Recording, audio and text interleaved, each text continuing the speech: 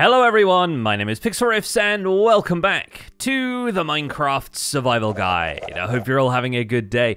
In today's episode, we are going to head out into the wilderness to check out a structure that we have not seen yet, but I discovered on a recent live stream. We're going to find a pillager outpost, and from there, we're going to try and find a village in which we can start our first pillager raid. This is going to involve a little bit of danger, perhaps not quite as much as I felt like we were in in the deep dark the other day, but I'm going to take the horse out to the savanna biome that is in the distance over in that direction, and I'm going to show you folks what a pillager outpost looks like and the consequences of messing with one. Okay, and here we are in the savanna biome where I've found our pillager outpost. It's over there peeking between the trees. I'm not getting any closer right now because pillagers will swarm around this outpost and attack me if I approach. But the coordinates of this are roughly negative 2500, negative 1200. And I'm saying this because if you're playing in the same world, I actually haven't found a pillager outpost closer than this to the area where we've set up our starter base or to spawn if you've set up your base there. This is really quite far out for a pillager outpost, and commonly you will find pillager outposts in any biomes which can contain villages. So you'll find them in savannas, deserts, plains biomes, occasionally in meadow biomes, snow plains biomes, and taiga biomes. Naturally, they're going to be a little harder to spot in taiga biomes because they're made out of dark oak wood, and the taiga biome is going to be surrounding them with trees, but here on the savanna biome, or in a plains, a meadow, or any of the other biomes, you're more likely to spot them. They'll stand stand out from the landscape. But speaking of the landscape, before we go any closer to that pillager outpost, I wanted to show you folks this mountain because when I was exploring on the live stream, we actually stumbled upon this mountain. We kind of came around from the outside, and the pillager outpost was almost a secondary concern at that point because this mountain is genuinely really impressive. There is this one sheer rock face which goes down into a dripstone cave. Kind of looks like an alien with this like eye, a nose made out of water water and then this big open mouth with all of the teeth around. But there's this enormous dripstone quarry that clearly leads down into what I presume is going to be another deep dark biome given the height of this mountain above it. It's a really impressive landscape. And this is the kind of thing that I'm going to be bookmarking for the future of the series because I imagine we can come back and build something really cool and impressive looking here, although right now I have absolutely no idea what. Once again, if you want the coordinates for this mountain, they are there on the screen. It's about negative 2700 on the x-axis, negative 1300 on the z-axis, and oh boy, is this thing kind of impressive. Anyway, where's my horse? Let's go back to the pillager outpost. So I'm going to tie up my diamond horse a little bit further away from the outpost so we don't risk this horse getting hurt, because once we get in here, the pillagers are going to be, once again, swarming around me with their crossbows and firing at me. And the thing about pillager outposts is, Encountering one of these is not too much different from encountering a pillager patrol, the only difference being the pillagers around here will be a lot more aggressive. Patrols tend to just sort of wander up to you and stay at a reasonable distance, training their crossbows on you but not attacking, whereas the pillagers around an outpost will attack more immediately. Pillager spawns around an outpost are also a lot more reliable than the chance of stumbling onto a patrol, and if we go into the pillager outpost here, we'll be able to climb to the top of the tower, occasionally fighting pillagers who have spawned inside the structure, but it looks like we don't have any up here, and at the top, we will find a loot chest. Now, this can contain a few different things. There can be armor trims in these pillager outposts, but unfortunately, we do not have one. What we do have, though, is a goat horn, which if we hold it in our hand, we can right-click to play, and it plays this triumphant little fanfare to say that I have conquered the outpost, I guess. The rest of the loot in here is not all that much to go by. There are bottles of enchanting, which you'll remember we can buy from cleric villages. There are a few extra pillager banners hanging from around the outpost, but honestly, the true treasure of these things is usually outside. Because out here in these cages, you can often find mobs imprisoned, and typically you will either find an iron golem in here, which you can unleash on the pillagers if you want to cause a little bit of chaos. There you go, he's taking care of the pillagers for me. But alternatively, in some of these cages, you'll find two blue creatures called allays. And allays are really useful mobs. They are utility mobs that if you give them an item, they will fly around trying trying to find more of that item and picking them up for you, and then returning those items to you as they go. So allays can be really useful. Since we don't have any around this outpost, I don't see any other cages. We'll get into discussing exactly how to use them in a future episode. But honestly, the main advantage of these outposts being here is that pillagers will spawn around them constantly, so you don't have to wait for a patrol to appear in order to encounter a pillager patrol captain. Those are the ones with the banners over the top of their heads, and if we find one of those, today we're going to actually kill them instead of avoiding killing them like we've done in previous episodes, and the reason for that is because we want to get the bad omen effect. It's important to note that pillager spawns are not tied to the structure itself, they are simply tied to the area where the structure spawns. So we could remove this entire tower if we wanted to, and the pillagers would still spawn around this area. So it's actually quite a good idea to keep the towers here as a landmark so that you know where pillager spawns are going to happen. But there's a patrol leader, and let's see if we can get to him before the Iron Golem does. There we go. We got ourselves that bad omen effect. On Bedrock Edition, it'll play a little animation on the screen to let you know you've got bad omen, but on Java Edition, the icon simply appears in the top right. And if it's your first time getting bad omen, you'll get the voluntary exile advancement, which lets you know to stay away from villages for the time being. Well, we're going to see the consequences of that today because I'm actually going to go out and find a village where we can start a pillager raid. Having explored this area on the live stream, I know that there are several villages around here, so we're going to take our horse we're going to ride out to one of those and we're going to see if we can trigger a raid. Okay, there is a village down here in the valley, and here I stand on the hilltop, ready to unleash some chaos. Right, well, I think the best thing for us to do once again is going to be to tie up the horse up here so that it is a little bit away from the aforementioned chaos. And with night falling, I'm going to sleep in a bed. I think it's going to be the most sensible thing to do to make sure we can do this during the day, because the addition of night spawning mobs would be a bit of a chaotic addition to the raid, and we're going to try and do this as sensibly as possible. Now, as soon as we run into the radius of this village, as soon as we get within a certain distance of any villagers, workstations, and beds, and that kind of thing, the raid is going to begin. So we want to quickly do a couple of things. If there is a village bell somewhere inside here, we want to ring it. That will encourage the villagers to return to their homes, and it looks like in the center there where the village well is, there is a bell right there. Once the villagers have returned to their homes, we're going to use a couple of blocks to block them in, because the conditions of a raid starting are simply walking into an active village where there are villagers and their points of interest, workstations, and beds. So in theory, I could start a pillager raid right next to my home, where I have a couple of villagers just working in little stalls. But the pillagers will start to come in in waves, and they will bring reinforcements in the form of other mobs, and the only way to win a pillager raid is to destroy each of those waves entirely. The way you can lose a pillager raid is if every villager in the village is eliminated, or alternatively if all of their points of interest are eliminated, but the pillagers are mostly going to be concerned with attacking the villagers. So we're going to head into the center of this village, I'm going to ring that bell, and we're going to try and block any villagers in their homes to make sure that they are safe from pillagers trying to knock down the door. Now this village has some pretty interesting terrain going on here, so it looks like we should have our work cut out for us, but let me ring the bell in the center, that should hopefully encourage any villagers who are around to return to their homes. And yep, you can see them scrambling around. A couple of them are ringing the bell themselves because they know a raid is on the way and they have a little bit of trouble getting into their homes occasionally, but there we go, we've got at least one of them. Now you'll notice a group of pillagers has spawned on the hillside over there, and they will be making their way down into the village to attack the villagers. I blocked a couple of villagers inside of their homes, and as long as we have at least two, we could always return the population to maximum by breeding up some villagers, making sure they have food and beds and that kind of thing. But the first wave is upon us. You'll notice the raid bar appears at the top of the screen, and that will diminish every time a pillager is killed in this case. So we just have to make sure that we take care of all of these pillagers and we have one raider remaining who is just still up there on the hillside. At this point, I will point out that the difficulty that we're playing at is going to make a difference to the intensity of these raids. So in this case, I'm still playing on normal difficulty since we created the world on normal, and I have not adjusted that.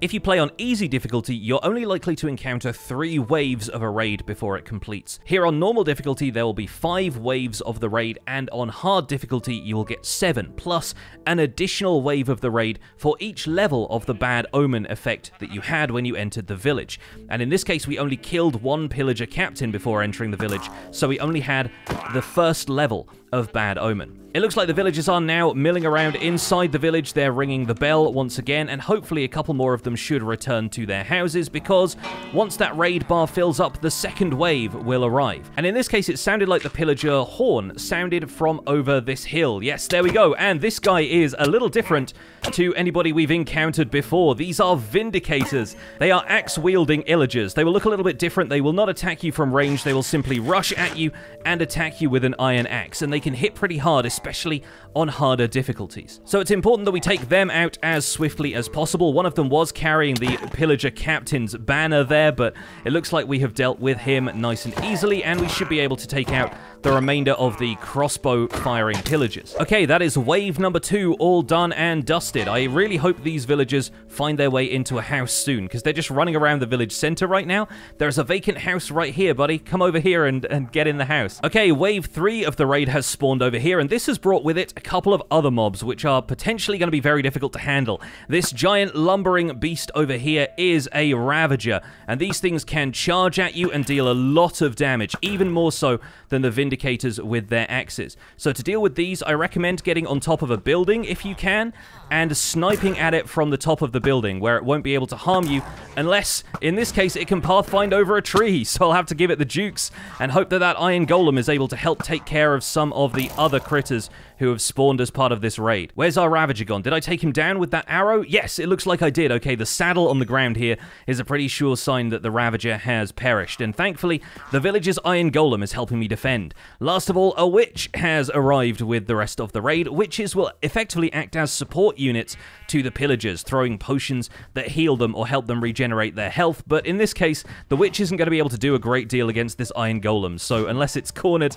it's not really going to do a whole bunch. There we go. The Witch was taken down dropped a bunch of stuff actually. That's kind of nice. And now we can continue with wave 4 of the raid. Pay attention to which direction the horn sounds from because that's the direction from which the next wave of the raid is going to arrive. And it looks like this one has started up on the hillside. No ravagers this time but a bunch of witches and a couple of vindicators it looks like. So let's hop up here and see if we can snipe a couple of the pillagers and the witches from range don't worry about taking out the pillagers with banners during the course of the raid they will not add to the bad omen effect that you had at the start of the raid since the raid is already in action. And after having taken down all those crossbowmen, the only two left are these witches who will throw poison potions at you. So if you get hit with one of those, it's probably a good idea to back off a little bit. Make sure you don't end up getting hit with the potion of harming. And if you need to, throw down a bed, and set your spawn point somewhere. This witch has now infected me with poison and slowness, but we are getting rid of the witch to begin the final wave of the raid. At least this should be the final wave. I'm making sure to keep my health up because I still have a bunch of that poison effect. And this last wave should come in with a mob we have not seen before. The guy who is sprinting around over there and currently taking a bunch of full damage is an evoker.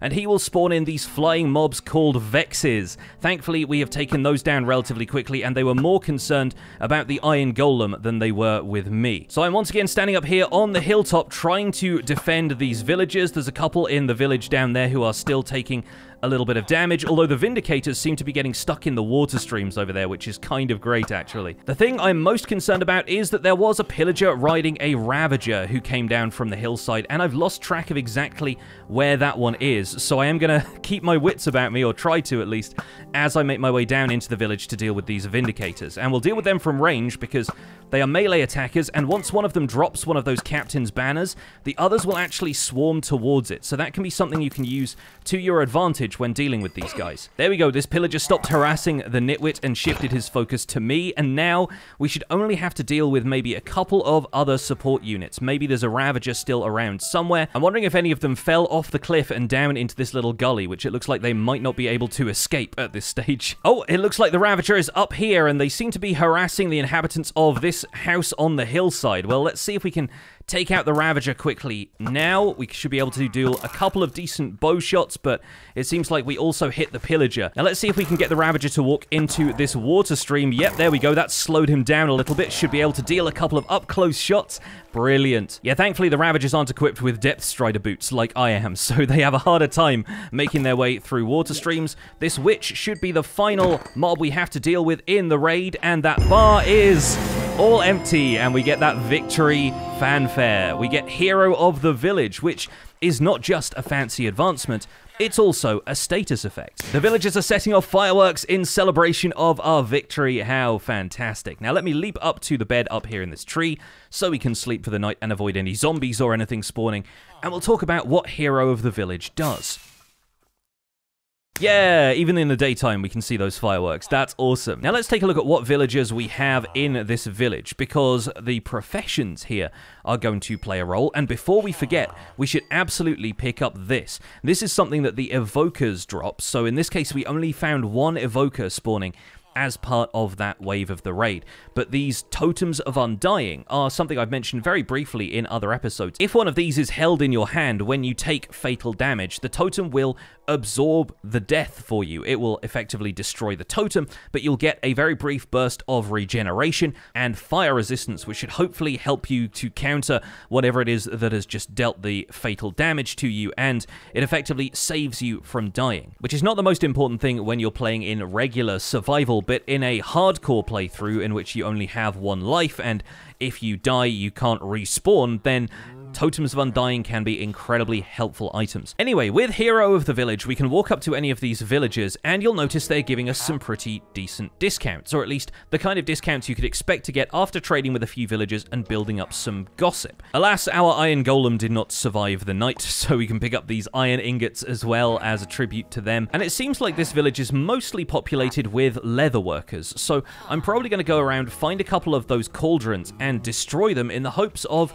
getting a farmer villager. There's even a few more emeralds in this chest that I might take, but I'm going to pop in some of the useless stuff from the raid. We're going to leave the banners here since they aren't really used for a great deal. And this is the house where the leatherworkers have their cauldrons, and they've already started throwing me a couple of things. I'm going to return to the center of the village here, throw down a crafting table, and start making a composter, which I should be able to make out of any slabs I've got lying around. There we go. Let's throw down one of these and see if we can get a couple of trades in with a farmer, especially since there are so many hay bales around here. This guy has now adopted the farmer profession, and you'll notice with this hero of the village effect, we should have that for about 40 minutes after clearing a normal difficulty raid. The villagers will actually throw you items related to their profession. It'll usually be fairly basic items, but this farmer is potentially going to throw us a couple of crops, like wheat or carrots or something. The leather workers inside of there threw me a piece of leather, which is how come I now have one of those in my inventory. Oh, and this guy's thrown me a cookie. Oh, what a legend. Okay, I'm going to grab that and probably eat that because I don't know if we've really covered cookies in this series yet. Maybe when we talked about cocoa beans. Either way, this guy is also offering me some discounts, although this case it's on potatoes so if we want to get a decent discount for wheat, we'll have to, there we go, reset his trades a couple of times. And here he's asking for 14 wheat per emerald, so we can easily lock in that trade, and for the duration of this Hero of the Village effect, he's going to give us a pretty decent discount.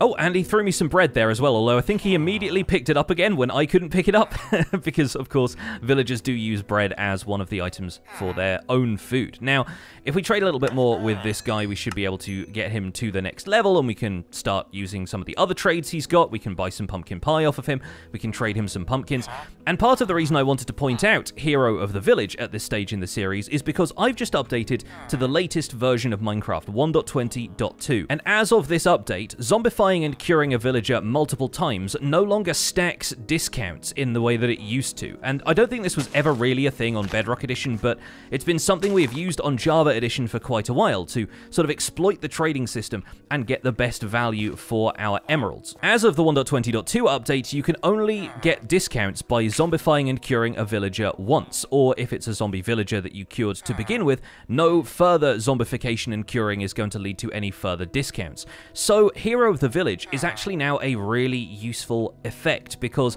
it can stack up with the zombification discount and the gossip discounts that you get from trading with villagers and having a good reputation, and that will give you even steeper discounts on some of the stuff they're trading, leading to you being able to trade a very small amount of wheat for emeralds with a farmer villager. One of the things we're going to do in future is to set up a controlled environment for us to take on and defeat these pillager raids, because that will allow us to stack up these hero of the village discounts and get an even steeper discount on any trades that we happen to have. And it's not just this village that will be grateful to you for saving them either. If you walk into another village with this hero of the village effect, it will be quite possible to get free items and discounts on trades from those villages as well. And now, having saved the day, having defended this village from a crisis that I actually kind of caused by walking in with Bad Omen, we're going to head on home and see if we can use these hero of the village discounts on villages that we've already traded with. All right, back here at our little settlement, I'm going to tie the horse back up to the post over here. Thank you very much, horse. An excellent taxi service. And now, if we head back over to our villagers who we've had stationed outside of here for a little while, there we go. We got our Fletcher right here. We have Regis the farmer over here. We should find that with 25 minutes of Hero of the Village left, we should get some pretty decent discounts from these folks. Now, of course, Regis doesn't have a wheat trade right now, which is going to be a problem for me, so I'm probably going to break and replace this composter, because that should hopefully refresh Regis's trades, although it looks like he's not in the mood to take on this fresh job quite yet. Let's take a look at how many sticks we can sell, and this is a significant discount from what we were able to trade before.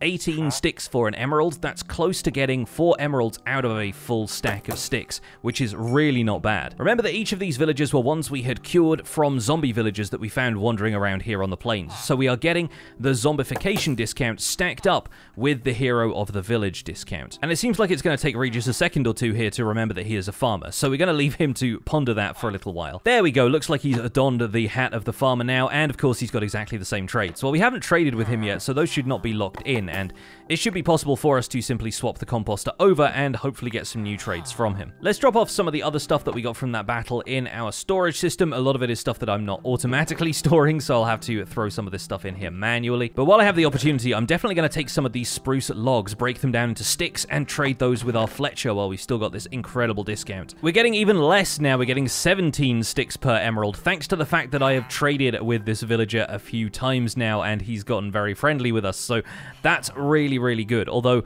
of course, every trade is going to only unlock a couple of times per day, so we're still kind of on the clock here. We need to use our time effectively, we need to sleep as soon as it gets to nighttime, and that way we should be able to mm, take full advantage of this Hero of the Village discount. In the meantime, Regis still hasn't given me a wheat trade, so I'm considering taking the carrot or potato trades when they show up, and just harvesting a bunch from my farms over there. Now, believe it or not, this is not the best discount we could possibly get from these villagers, because if you end up walking into a village with multiple levels of bad omen, let's say I killed three pillager captains before I walked into the village, I completed the raid and the additional bonus waves of the raid, and I ended up with Hero of the Village 3. Additional levels of Hero of the Village will stack up the discounts that we get from these trades. Look at that, he's trading us 9 wheat for an emerald. That's a really solid price for the wheat trade. And to be honest, it could be a really good time to get rid of our beets, plus he's trading us a pumpkin for an emerald, and we have plenty of pumpkins. Yeah, let's harvest a bunch of the beets and pumpkins that we have growing over here, and let's do some trades with Regis while we can. 6 beetroot per emerald is still a pretty good deal. We're still getting 10 emeralds out of that, and I'm sure I can get a little bit more wheat from my wheat farm over there as well. But with the sun rising over the house, we can now trade with the Fletcher again, and